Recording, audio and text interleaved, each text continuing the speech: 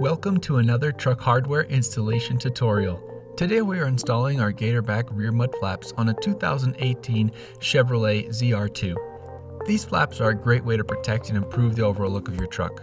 And better yet, the Gatorback flaps are incredibly durable and easy to install.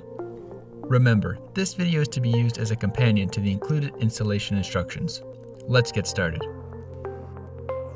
First, loosely install the bracket to the rear of the flap using a stainless bolt, black nylon washer, nylon washer, washer, lock washer, and nut.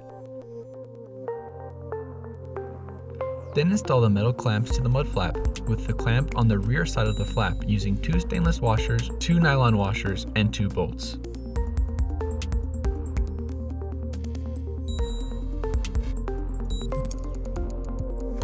Then, remove the factory screw located on the inner wheel well, as well as the factory push pin located on the underside of the plastic flare.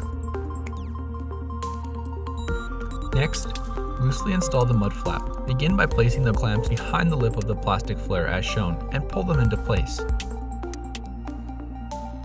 Then reinstall the factory screw with an added nylon washer to its original position. With a square or other leveling tool, make sure the mud flap is level. We also recommend you take a step back and visually gauge the mud flap to check that it is aligned correctly.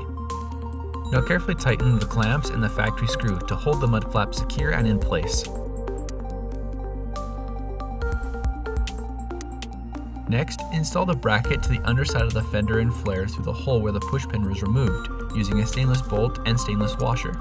Secure it with a stainless washer, lock washer, and nut.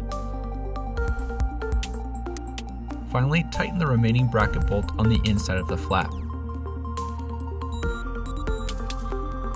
Congratulations, you've just finished installing your Gatorback mud flap. If you found this video helpful, give us a like and subscribe. Check out the rest of our channel and our website for additional tips, tricks, and installation guides. Thanks for choosing Truck Hardware.